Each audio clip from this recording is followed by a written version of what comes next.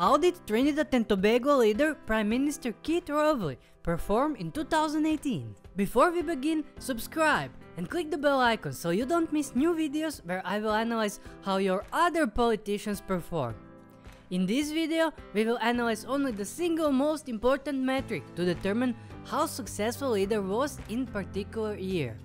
No BS fancy talk, just perfectly real and honest statistic where you can't hide anything. Here's the deal, most important performance metric for any leader is happiness of citizens. It's number composed of multiple variables, including GDP per capita, social support, healthy life expectancy, freedom to make life choices, generosity, and perception of corruption. Basically, it measures performance of whole government led by the leader of the country.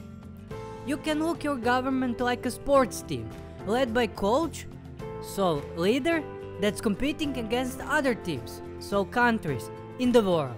If you are from Trinidad and Tobago, comment below how happy you were in 2018. Can't wait to see how happy you were living in your country. Now, our data source will be UN's The World Happiness Report. UN stands for United Nations. We'll analyze two main factors. Position in 2018 happiness report and change in rankings. Based on those factors, all leaders get grades. Grades are phenomenal, which is the best, amazing, excellent, great, good, then fair, which is neutral, mediocre, poor, bad, awful, and abysmal, which is the worst.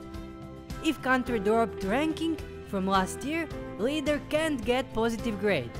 Is that clear? And now, are you ready? Trinidad and Tobago leader Prime Minister Keith Rowley in 2018 performed, drumroll, wait for it, mediocre. His score was minus 234 and he ranked 88 among all leaders.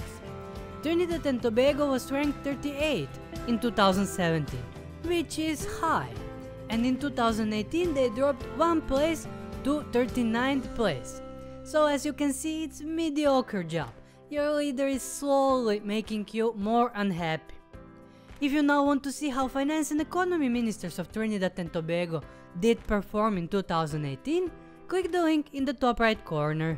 And that's not all, let's see few leaders that performed best, so you can see how phenomenal performance looks like. Here is the top of the rankings. Rank number 1 was leader from Benin, Patrice Talon, President of Benin. He did phenomenal job and Benin recorded jump of 33 places in the rankings. Awesome! Rank number 2 was leader from Kosovo, Ramush Haradinaj, Prime Minister of Kosovo. Phenomenal job, Kosovo jumped 90 places in the rankings. Rank number 3 was leader from Italy, Giuseppe Conte, President of the Council of Ministers of Italy. In 2018, Italy leaped 11 places from 47th to 36th place. Ranked number 4 was leader from Israel, Benjamin Netanyahu, Prime Minister of Israel. Israel jumped 6 places in the rankings. Ranked number 5 was leader from Cyprus, Nikos Anastasiades, President of Cyprus. Cyprus jumped 11 places in 2018. Other leaders that did phenomenal jobs were Juan Orlando Hernandez, President of Honduras, Valentin Inzko, High Representative of Bosnia and Herzegovina, Pedro Sanchez, President of the Government of Spain, Emomali Rahmon, President of Tajikistan, Alpha Conde, President of the Guinea, S Stefan Löfven, Prime Minister of Sweden, and Xavier Bettel, Prime Minister of Luxembourg.